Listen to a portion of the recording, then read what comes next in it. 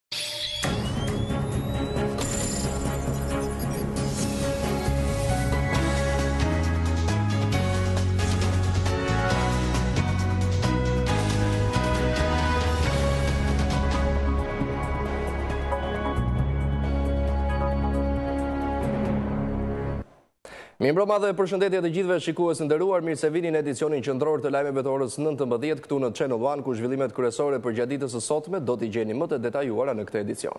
Mirëmbrëma zonja e zotrinj, ju uroj mirëseardhje.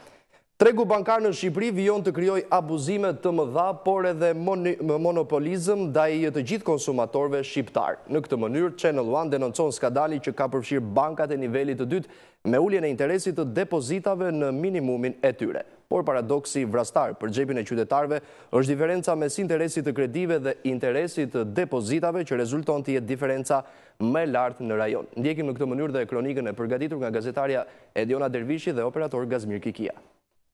Bankat në Shqipëri po ulin vazhdimisht interesat e depozitave, pothuajse në kufijtë e zeros, çka do të thotë që edhe interesi i shqiptarëve për t'i depozituar kursimet e tyre në bankë është zero. Paradoksi vrastar për xhepin e qytetarëve është diferenca mes interesit të kredive dhe interesit të depozitave, që rezulton të jetë diferenca më e lartë në rajon. Mungesa e interesit të qytetarëve për t'i depozituar kursimet e tyre në bankë, shkakton rritje të shumës së parasë që qarkullon jashtë kanaleve bankare dhe në të njëjtën kohë rritet informaliteti në sistemin bankar në vend.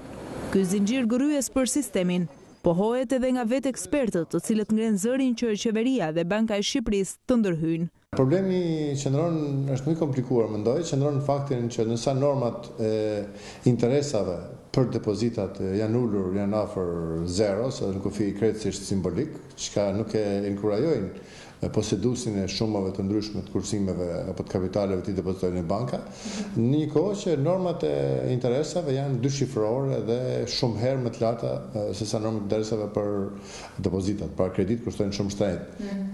Kjo do të thotë që spread-i apo diferenca ndërmjet këtyre dy interesave për depozitat dhe për kreditë, Shqipëria ta ketë më të lartën në rajon përveç Kosovës. Në çdo investigim për këtë mashtrim të bankave, Channel One ka bërë pjesë edhe qytetarët, pasi janë ata që e denoncojnë skandalin e mashtrimit me kreditë dhe depozitat, dhe ne përcjellim zërin e tyre. Kam informacion për depozitat që janë ulur shumë interesat këto kohë. Unë në fakt punoj në financë, edhe kam depozitat e punës dhe e di që këto vite janë ulur shumë. Mund të them janë përgjysmuar nga nga disa vite përpara. Si ju duket interesi për depozitat i ullët? Për depozitat i ulët më duket, po është gjë që s'është varur nga ne që depozitojmë ndonjëherë. Unë jam ekonomist finance në profesion. E njoh qarkullimin monetar, e njoh kreditin, Bankat, domethënë më shumë i lodhin njerëzit dhe fitojnë në kurriz të njerëzit. Përqindja e interesit të depozitave. Janë ulur, kurse për përqindjen që mbahet mbi interesin, edhe ajo është ngritur, gjë që tregon që interesi yt copëtohet në minimum. Të larta shumë, s'merr dot kredi. Shumë të larta, po tepër gjysmë për gjysmë, pesëdhjetë përqind. deri në dyzet e një për qind. E padrejtë por e vërtetë, edhe nëse dikush depoziton në një bankë një shumë parash nga kursimet e tij, me një interes depozite X, me kalimin e kohës, banka, pa pyetur fare për qytetarin, e ul këtë interes gradualisht derisa shkon në kufijtë e zeros, ja një rast konkret. Po depozitë keni? Kam. Si janë interesat? Të ulëta. Sa të ulëta? Shumë të ulëta janë. Me sa interes e ke? Po me një përqind. Me një përqind? Me një përqind. Te cila bankë? Te BKT-ja. Po, që në fillim e bëtë marrëveshjen? Jo, që në fillim. Nuk ka qënë ka qënë. Në fillim ka qënë më e lartë. Tani duke ardhur dhe duke ulur. Kam vite që e kam bënë. Po si Është ulur, nuk keni bërë një marrëveshje ju paraprake që është kaq interesi. Fillimisht ka qenë depozitë, tani është bërë kontratë, se fillimisht ka qenë depozitë. Interesi është ulur gjatë rrugës? është ulur, nuk është interesi që ishte në fillim. Si, sa ishte në fillim? Tani unë nuk e mbaj mënd sa ka qenë, po ka qenë më i lartë. Kështu që tani është ulur. Ne tentuam sërish një kontakt me Bankën e Shqipërisë, Edhe pse tashmë u bënë javë të tëra që presim. Channel One nuk do të reshtë së zbardhuri gjithë të vërtetat dhe përgjegjësit që fshihen pas kësaj skeme mashtrimi dhe, pse jo, të vendosë në vend drejtësinë që i mungon shqiptarëve, këtë radhë edhe nga bankat. Një rrahje të thjeshtë e ka cilësuar avokati mbrojtës i deputetit socialist Arben Ndoka, incidentin në sallën e Parlamentit, ku u dhunua fizikisht deputeti i Partisë Demokratike Gent Strazimiri. Ky argument i pabazuar juridikisht i avokatëve mbrojtës është prezantuar edhe përpara trupës gjyqësore të Gjykatës së Lartë, e cila nisi ditën e sotme procesin ndaj deputetëve të Partisë Socialiste Pjerin Ndreu dhe Arben Ndoka. Avokati mbrojtës i deputetit Arben Ndoka e ka cilësuar si rrahje të thjeshtë dhunën e ushtruar ndaj deputetit të Partisë Demokratike Gent Strazimiri. Sipas avokatëve Ardian Visha dhe Baftiar Rusi, duhet të pushohet çështja gjyqësore ndaj të pandehurve pasi kallëzimi nuk është bërë nga protagonisti kryesor në ngjarje Gent Strazimiri, por nga kreu i grupit parlamentar i Partisë Demokratike, Edi Paloka. E mbajtëm qëndrimin edhe aty, ishit, ne nuk mendojmë që kjo është akuza që përcakton drejt faktin. Për rastin tonë kemi të bëjmë me një rrahje e thjeshtë, edhe gjithçka tjetër në rëndimin cilësor të akuzës, për ne është spekullim. Gjykata e Lartë nisi sot seancën gjyqësore ndaj dy deputetëve socialistë me akuzën e ushtrimit të dhunës ndaj një deputeti të Kuvendit. Gjykata ka hedhur poshtë pretendimet e avokatëve për të pushuar çështjen, ndërsa seanca e radhës u parashikua të zhvillohet në datën dymbëdhjetë dhjetor. Deputetët e Partisë Socialiste, Pjerin Ndreu dhe Arben Doka u morën të pandehur nga prokuroria pas një kallëzimi të bërë nga Partia Demokratike, ku dy deputetët, Ndoka dhe Ndreu, goditën një nga të zgjedhurit e Partisë Demokratike, Gent Strazimiri. Duke bërë një përmbledhje të protestës e cila u mbajt dy ditë më parë në kryeqytet, kryetari i Partisë Demokratike, Lulzim Basha kërkoi edhe njëherë nga kreu i qeverisë Edi Rama që të reagojë. Me anë të kësaj deklarate, Basha bën thirrje që të ulet çmimi i energjisë elektrike, të mos rriten taksat për qytetarët shqiptarë si dhe të ndalet prishja selektive sipas tij e ndërtimeve pa leje, por edhe një sërë problematikash të tjera ekonomike me të cilat po përballen qytetarët shqiptarë. Në emër të shumicës shqiptarëve që luftojnë për mbijetesë, i kërkoj kryeministrit të ndalë çdo tentativë për rritjen e çmimit të energjisë elektrike, të anullojë menjëherë kërkesën që qeveria e tij ka çuar në këtë drejtim. heqë menjëherë TVSH-në e energjisë elektrike për të papunët, pensionistët, fermerët, kryefamiljarët dhe shtresat e tjera që jetojnë në nivelin e varfërisë. Të rishqyrtojë paketën fiskale dhe buxhetin e vitit dy mijë e pesëmbëdhjetë në konsultim me aktorët e rëndësishëm të shoqërisë, me sipërmarrjen, konsumatorët dhe shtresat në nevojë. Të heqë dorë nga rritja e çdo takse, tarife, akcize për vitin e ardhshëm.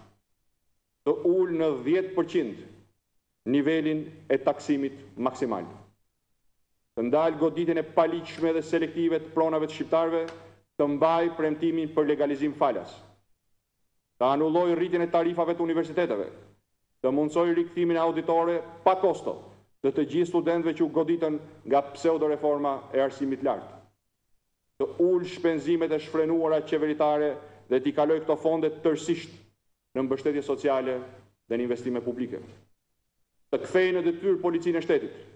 Vrasjet, vjedhjet, krimi dhe aksidentet po shtohen çdo ditë. Askush, asnjë shqiptar, përveç ministrave, rrjetit dhe tarafeve të tyre me persona të inkriminuar, me dëftesa dhe diploma falso dhe të zhytur në korrupsion, nuk është i kënaqur me këtë qeverisje. Respektimi i kontratës me shqiptarët nuk është çështje dëshire, por detyrim. Zoti kryeministër, mbaj premtimet për cilat je votuar. I menjëhershëm ka qenë edhe reagimi nga ana e Partisë Socialiste për deklaratat e bëra nga kryedemokrati Lulzim Basha. Deputeti Taulant Balla u shpreh se protesta ishte dinjitoze, por ajo nuk duhej të udhëhiqej nga dyshja Basha-Berisha, të cilët kërkojnë të fusin vendin në anarki. Ne respektojmë çdo protestë dhe çdo qytetar në protestë, por nuk mund të respektojmë protestuesin Lulzim Basha dhe as protestuesin Sali Berisha. I pari Është zëdhënësi i njerëzve që nuk duan t'i paguajnë dritat, por duan të vazhdojnë t'i vjedhin ato. I dyti, dihet, është përgjegjësi kryesor për të gjitha plagët e mëdha që ne po kurojmë sot me reformat tona. Ne nuk do ta rrisim çmimin e energjisë elektrike. Saliu dhe Luli gënjejnë për të mbledhur partinë e çoroditur nga një milion shuplakat e marra më njëzet e tre qershor. Ne nuk i kemi rritur taksat, përkundrazi i kemi ulur ato për nëntëdhjetë e pesë për qind të të punësuarve apo të vetëpunësuarve përmes biznesit të vogël. Saliu dhe Luli gënjejnë, sepse e shohin që ekonomia, siç e konfirmon edhe FMN, ka nisur të rimëkëmbet. Flasim për të tjera zhvillime të aktualitetit, kryeministri i vendit Edi Rama po merr pjesë në forumin ekonomik i cili është duke u mbajtur në Vjenë. Gjatë fjalës së tij, Rama u bëri thirrje të gjithë sipërmarrësve të huaj që të investojnë dhe mos ngurojnë të investojnë në Shqipëri, pasi edhe Banka Botërore në një raport të saj të fundit e ka cilësuar vendin tonë si një burim të mirë për të investuar.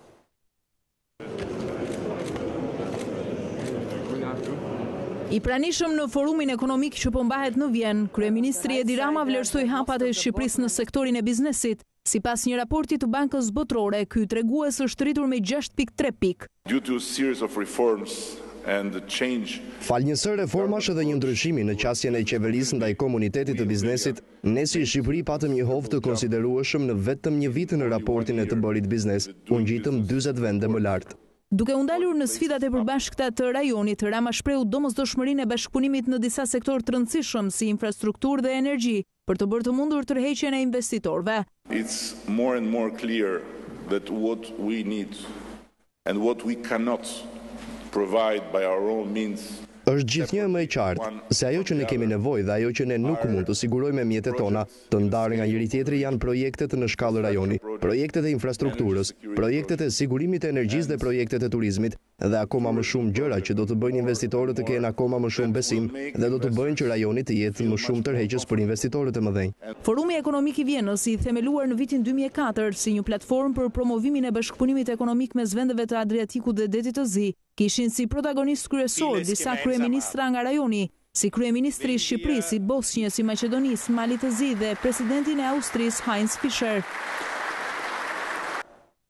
Ministri i Energjetikës Damian Gjiknuri njoftoi sot nisjen e kërkimeve për burime natyrore në det, veprim ky që mund të nisë me një përplasje të re me shtetin grek. Shqipëria pritet të nisë kërkimet në det për struktura naft-gaz mbajtëse në zonën ekonomike të Shqipërisë në Detin Jon, duke rikthyer konfliktin e kufijve detarë me Greqinë, një marrëveshje e rrëzuar dhe nga Gjykata Kushtetuese. Ministria e Energjisë konfirmoi lajmin në një takim për hartën e resurseve natyrore.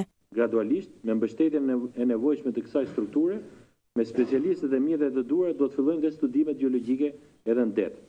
Shumë shpejt do të dërgojmë në Parlament edhe projektligjin e ri për shërbimet gjeologjike, reformim Reformimi programor i shërbimit tonë gjeologjik ka të bëjë me orientimin që shteti, pra qeveria nëpërmjet Ministrisë së Linjës i jep këtij institucioni për të kryer studime apo dhe për të përgatitur strategji zhvillimi që i nevojiten vendit. Një nga këto është në fakt dhe kjo një studim siç e thamë jashtëzakonisht i rëndësishëm. Ministri Gjiknuri kërkoi nga njësitë vendore të konsultohen me shërbimin e gjeologjisë para se të japin leje për ndërtim në zona me resurse natyrore. Nga ana tjetër, organet e qeverisjes vendore nuk mund të lejojnë më veprime, veprimtari të tilla apo ndërtime në zona që vërtet ndodhen mbi basene të cilat kanë ujëra nëntokësorë apo probleme të tilla të cilat patjetër do të sjellin erozion dhe shkatërrim. Nuk duhet të harrojmë se krahas administrimit të territorit mbetet problem dhe ndotja e tij. Padyshim këtu ndikojnë edhe faktorë natyrorë, por shumë të theksuar janë ndotjet që vijnë nga veprimtaria e mungesa e kujdesit njerëzor. Në studimin e qarqeve, edhe ky problem trajtohet me shumë hollësi për secilin qark. Ministria e Energjisë raportoi dhe në Komisionin e Ekonomisë për buxhetin e vitit dy mijë e pesëmbëdhjetë, Por vëmendja u përqendrua tek aksioni për energjinë elektrike.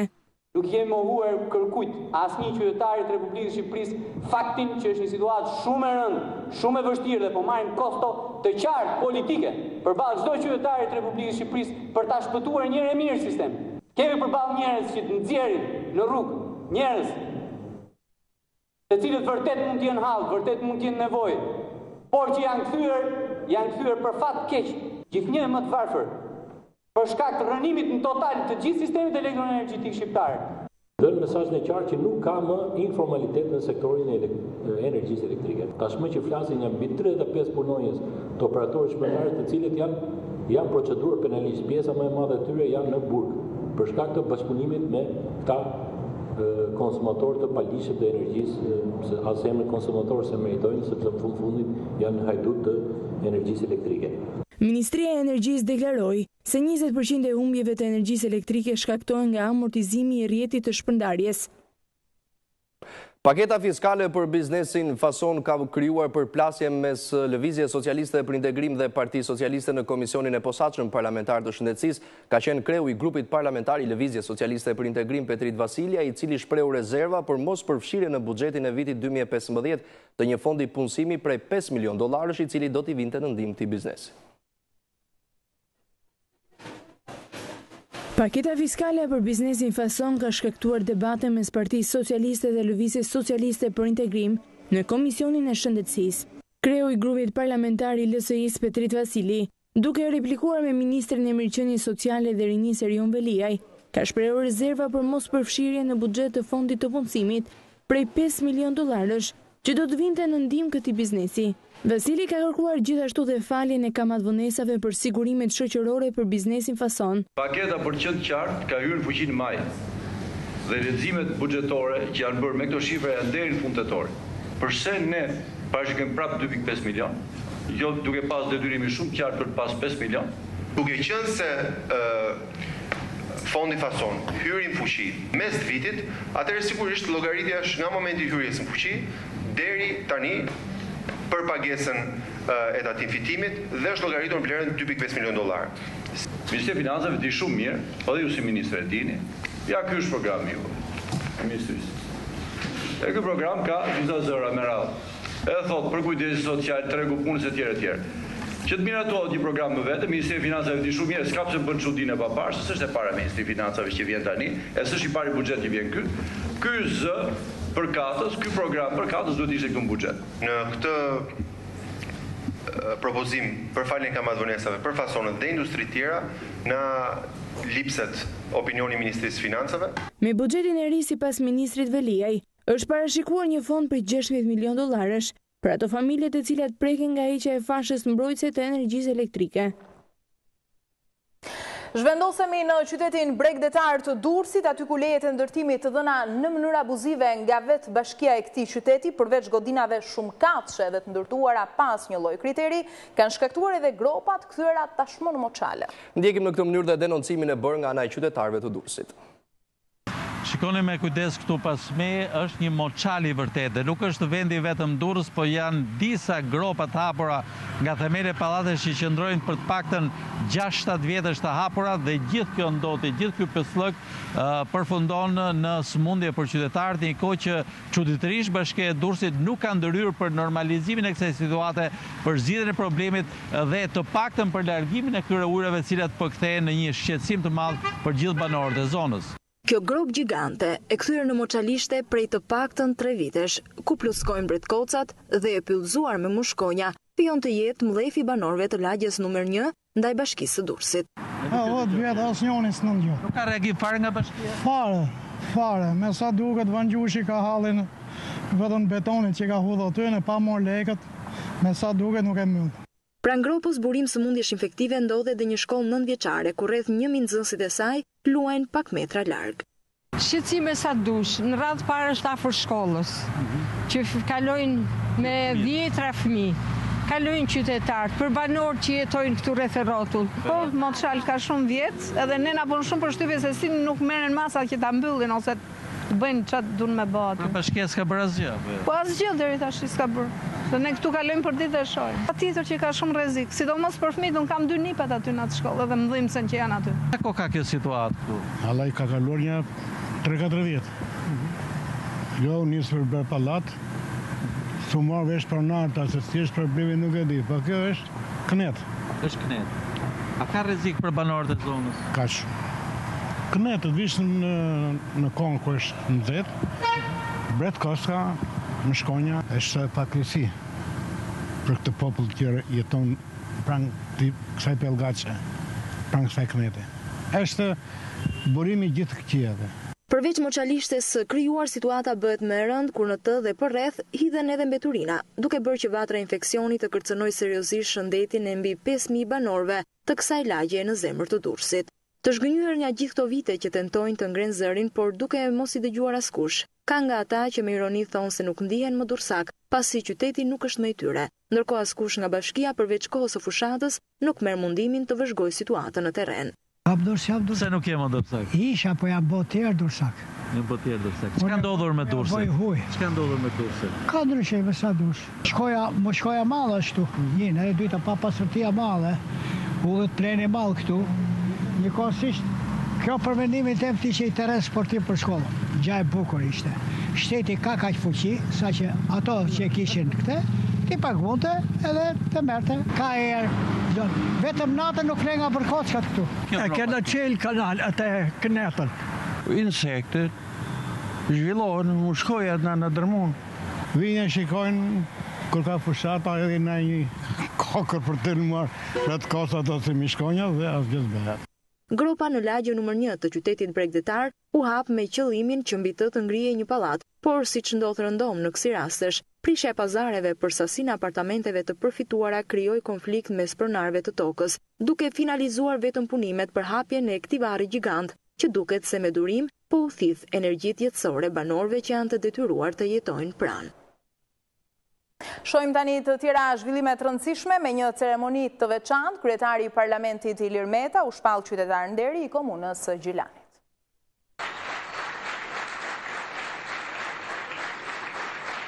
Kryetari i Kuvendit Ilir Meta shpallet qytetar nderi i Gjilanit. Titull ky i dorëzuar gjatë një aktiviteti me titull Java Kuqezi nga kryetari i komunës së Gjilanit Lutfi Haziri.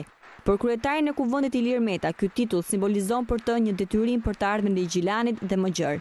Unë e konsideroj dhënien e titullit të nderit një detyrim për të ardhmen, për të bërë më shumë në mbështetje të qytetit të Gjilanit, dhe të gjithë Anamoravës, si një qendër shumë e rëndësishme, jo vetëm për Kosovën, po për mbarë hapësirën tonë mbarëkombëtare. Meta shprehu bindjen e tij se akoma më shumë mund të bëhet për Shqipërinë, Kosovën dhe për Komunën e Gjilanit si një zonë strategjike në rajon. Unë besoj se mund të bëjmë shumë më tepër sesa deri tani, në bashkëpunimin midis Shqipërisë edhe Kosovës, por edhe në zhndërrimin e vetë qytetit të Gjilanit në një qendër edhe më të rëndësishme të zhvillimit, të bashkëpunimit rajonal. Duke folur edhe për vizitën e kryeministrit Edi Rama në Preshevë, kryeparlamentari u shpreh se kjo tregon edhe angazhimin e qeverisë shqiptare për të vendosur të drejtat e shqiptarëve kudo që ata jetojnë. Flasim për zhvillimet e arenës ndërkombëtare, sekretari amerikan i mbrojtjes Chuck Hagel jep dorëheqjen, post të cilin e ka mbajtur për më shumë se dy vjet. Sekretari amerikan i mbrojtjes Chuck Hagel ka dhënë dorëheqjen. Lajmi është konfirmuar në një konferencë për shtyp dhe nga presidenti amerikan Barack Obama, Në prani të zëvendëspresidentit Joe Biden, Obama ka bërë dhe një vlerësim të punës së Hagel gjatë këtyre viteve, ndërkohë që ka pranuar dhe ndryshimet që ka pasur mes tyre për reforma të rëndësishme të ndërmarra në ushtrinë amerikane. Aleanca me NATO-n është më e fortë se kur ndonjëherë. Kemi mbështetur aleatët dhe kemi rritur praninë tonë me trupa si në Europën Qendrore dhe në Europën Lindore. Kemi modernizuar aleancat tona, veçanërisht në Azi. Kemi vendosur të rrisim komunikimin mes ushtrisë amerikane dhe ushtrisë kineze. Chuck ka qenë kritik ndaj këtyre veprimeve dhe megjithatë ai ka siguruar se ushtria është gati për misionet e reja. Hagel do të qëndrojë në krye të detyrës deri në zgjedhjen e zëvendësit të tij. Në fjalën e tij, ai përshëndet dhe bashkëpunimin me Presidentin Barack Obama. Sikurse edhe Presidenti deklaroi, ne jemi përgatitur së bashku me aleatët tanë për një tranzicion të forcave ndërkombëtare e sigurisë në Afganistan. Ne kemi forcuar aleancat duke iu përgjigjur edhe krizave në mbarë botën. Kemi ndërmarrë reforma të rëndësishme të cilat u prezantuan nga Presidenti. Këto reforma do të përgatisin këtë institucion me sfidat që do të përballet dekadat e ardhshme. Konferenca për shtyp u mbyll me duartrokitje dhe përlotje. Hagel ka qëndruar në krye të ushtrisë amerikane për më shumë se dy vjet. Gjashtëdhjetë e tetë vjeçari Hagel, një veteran lufte dhe ish-senator, u zgjodh sekretar në vitin dy mijë e trembëdhjetë. Sipas New York Times, dorëheqja e tij vjen pas ndryshimit të strategjisë së ushtrisë amerikane për të luftuar Shtetin Islamik të Irakut. Sipas mediave amerikane, Obama dhe Hagel kishin rënë më herët dakord se ka nevojë për një lidership të ri në Pentagon. Sipas New York Times, presidenti amerikan Barack Obama i ka kërkuar Hagel të dorëhiqet pasi ky i fundit kishte kërkuar tërheqjen nga detyra. Dy vitet e ardhshme do të kërkojnë një tjetër fokus, ka deklaruar një zyrtar i Ushtrisë së Bardhë. Hagel që ka qëndruar për dymbëdhjetë vjet si senator i Nebraskës, ai u bë kritik i përfshirjes amerikane në Irak, megjithëse kishte autorizuar hyrjen në luftë. Ai zëvendësoi në detyrë Leon Panettën në mandatin e dytë të Obamës duke marrë detyrën për t'u tërhequr nga Afganistani dhe për t'u zhvendosur drejt Azisë. Ndërkohë që politika e ushtrisë amerikane ndryshoi duke filluar një fushatë ajrore në shtetin islamik të Irakut dhe Sirisë. Ndryshojmë krejtësisht tematikën, rikthehet Hirushja tashmë në një film kinematografik që pritet të dalë në muajt e vitit 2015. Skenari do të jetë i njëjtë me filmin e animuar të Disney-t. I want to tell you a secret that will see you through all the trials that life can offer. 65 vite më vonë rikthehet në kinematë botërore filmi i animuar i Disney-t Hirushja. Traileri i publikuar në YouTube nuk është thjesht një pjesë e filmit, por një copëz magjie në të njëjtën kohë. And you'll have two lovely sisters to keep you company. So I'll know as far away as I may be that you'll be safe. Wouldn't you prefer to eat when all the work is done, Ella? Yes, stepmother. Oh, you needn't call me that. Madam will do. Me regji të Kenneth Branagh, Filmi ka si protagoniste Lily James në rolin e Hirushes, Cate Blanchett në rolin e Njerkës, Richard Madden në rolin e Princit të Kaltër dhe Stellan Skarsgård në rolin e Dukeshës së Madhe, si dhe Këshilltarit të Mbretit. Për të mos u humbur Helena Bonham Carter në rolin e Zanës dhe dy thjeshtrat, Anastasia dhe Drisella interpretuar nga Holliday Grainger dhe Sophie McShera. Excuse me, why are you crying? Who are you? That's better. My fairy godmother. Historia e Hirushes mbetet e pandryshuar. Ajo jeton me njerkën dhe dy vajzët e saj të cilat e keqtrajtojnë derisa takohet me princin e kaltër. Por në këtë version, Ne njihemi edhe me prindërit e Hirushes, e cila në film e ka emrin Ella.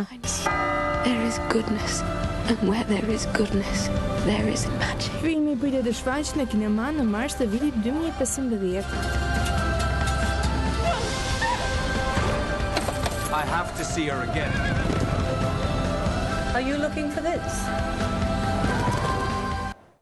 Ishte ky dhe materiali i fundit i përgatitur për këtë edicion qendror lajmesh, ndërkohë ju bëj me dije se menjëherë pas siglës përmbyllëse, i ftuar në intervistën e mbrëmjes të gazetares Klara Dervishi, do të jetë deputetja e Partisë Demokratike, njëherësh dhe kryetarja e Komisionit të Posaçëm Parlamentar të Shëndetësisë, Albana Vokshi.